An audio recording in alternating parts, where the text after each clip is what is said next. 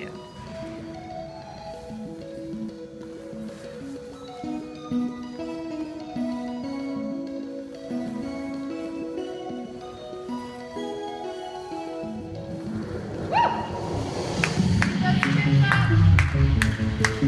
Second line, you need to be a little bit further back even.